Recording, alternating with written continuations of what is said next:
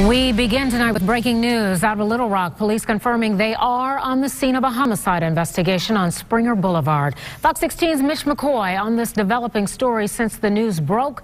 He joins us from the scene with the latest. Mitch, what do we know so far? Yeah, Donna, good evening. A lot to get here to tonight. We know crime scene specialists are out here. They're going through, spanning the crime scene here, looking for any evidence that will help detectives put a case together and then ultimately find the person who stabbed a man to death right out here along Springer Boulevard. I'm going to walk you through the chain of events according to the Little Rock Police Department uh, and exactly what they know so far. I'm going to step out and kind of paint the picture for you guys. We know that around 6:30 tonight, Little Rock police officers got the call to a stabbing that happened possibly in the parking lot of Jericho Way. When officers got here, they found the victim in the parking lot of the Nehemiah House. These are both homeless shelters here along Springer Boulevard.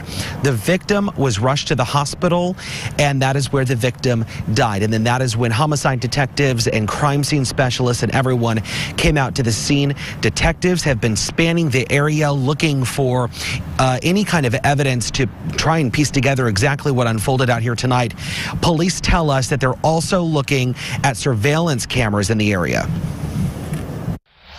We do know that there's possibly a videotape of the incident, so we'll try to gather that information and see if we can uh, use that to identify the suspect.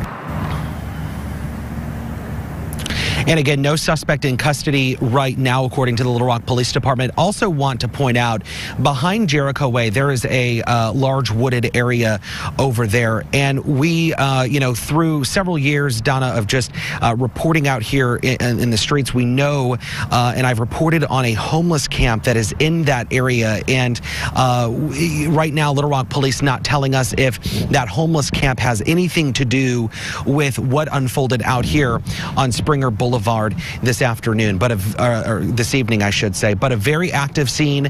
We do know that one man was stabbed to death. We're told that the victim was stabbed in the neck, but as of right now, no suspects are in custody. I'm going to keep working my sources out here and continue to watch and see exactly what detectives and crime scene specialists do. And we'll have another update in 30 minutes. But for now, we're live in Little Rock tonight. Mitch McCoy, Fox 16 News.